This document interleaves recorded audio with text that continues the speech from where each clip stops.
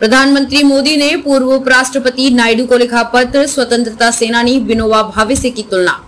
PM Modi ने वेंकैया की वाकपटुता की सराहना करते हुए उनकी तुलना प्रसिद्ध गांधीवादी और स्वतंत्रता सेनानी विनोबा भावे से की है।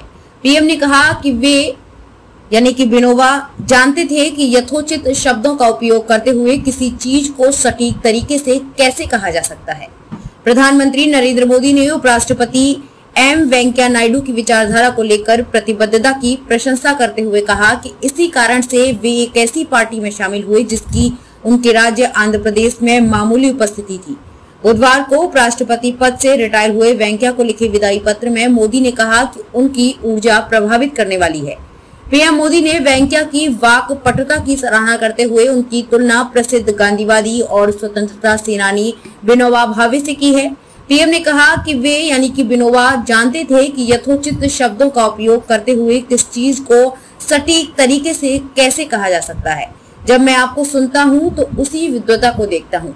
आपके अंदर श्रोताओं को मंत्रमुग्ध करने और चीज़ों को साधारण तरीके से कहने की क्षमता है। नायडू को लिखे पत्र में प्रधानमंत्री ने कहा, आपकी ऊर्जा असरकारी है। आपकी बुद्धि और ज्ञान में इसे देखा जा सकता है। आपकी एक पंक्ति वाली चुटीली टिप्पणियों की हर जगह प्रशंसा होती है। आपकी सबसे बड़ी शक्तियों में वाकपटुता हमेशा से शामिल रही है। नायडू की विशेषताओं का उल्लेख करते हुए मोदी ने लिखा कि नेल्लोर की छोटी सी गलियों से उपराष्ट्रपति बनने तक आपकी यात्रा उत्कृष्ट और प्रेरणादायी रही है।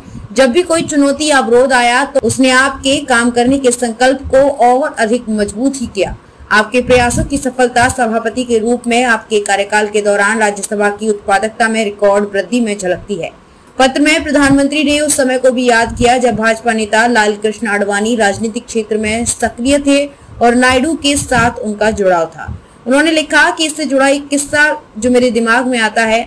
अडवाणी जी की रथ यात्रा के दौरान मुझे विभिन्न संगठनात्मक कर्तव्य दिए गए थे और मैं यात्रा पर नज़र रख रहा था। एक मौके पर मैंने अडवाणी जी के साथ जा रहे सुरक्षा कर्मियों से उनके अनुभव के बारे में पूछा और उनमें से एक ने मुझे बताया कि आंध्र प्रदेश में कुछ कार्यक्रम विशेष रूप से सुखद थे।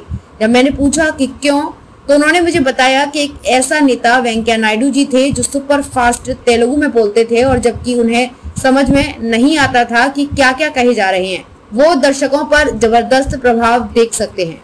आपको हमारी वीडियो पसंद आई हो तो लाइक कमेंट पर शेयर करें और ऐसी ही खबरों से जुड़े रहने के लिए आप हमारे YouTube channel ABD news 24 into को सब्सक्राइब कर बेल आइकन को प्रेस करें।